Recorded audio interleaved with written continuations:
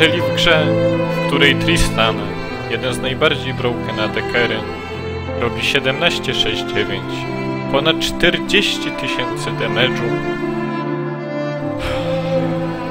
a i tak teammateci są w stanie to położyć.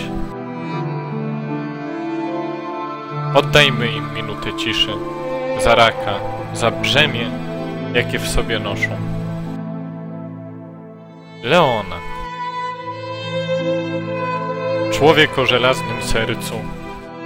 Walczyła jak nigdy, po to, żeby stunować przeciwników i trzymać ich z dala ode mnie.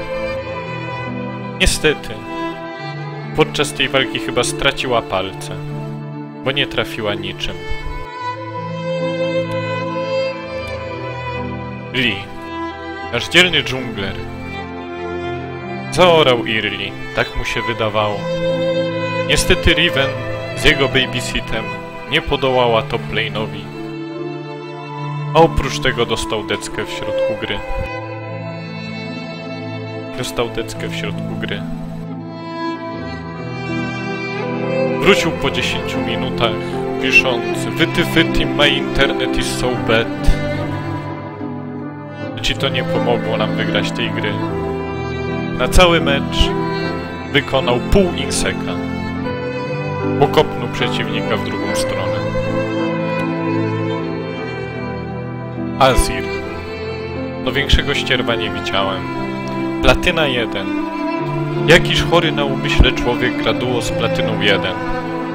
Jak to się mogło stać? Kto tego człowieka przepuścił przez bramy diamentu? Kto go wziął ze sobą w paczce? Kontrola celna go nie zatrzymała.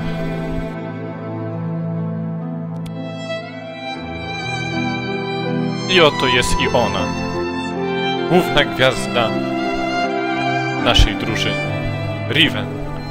Upieprzyła topa, oddając First Blada na levelu pierwszym do woli Zbysia. Woli Zbyś wykorzystał tę przewagę, aby zeżreć każdy kawałek jej ciała. Nafidowała go jak karp na Wigilię.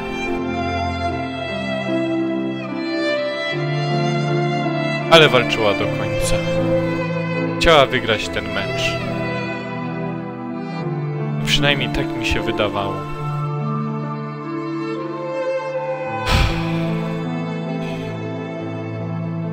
Oddajmy minutę ciszy poległym bohaterom solo queue którzy kosztowali mnie pieprzone 60 punktów.